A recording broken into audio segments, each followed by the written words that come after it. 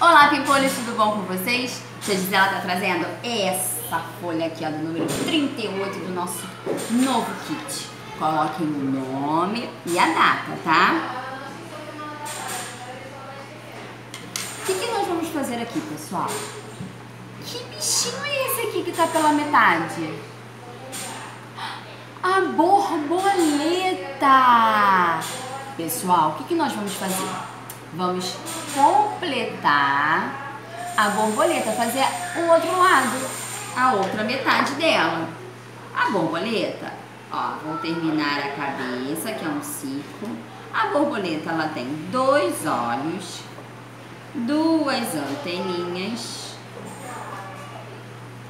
E vou fazer o nariz da borboleta como um círculo. E ela com um sorriso bem grandão. E agora, ó, vou terminar o corpinho dela e fazer a asinha. Olha aqui, pessoal. Quando terminarem, podem colorir, tirem uma foto e me enviem lá no Classroom, combinado? Um beijo!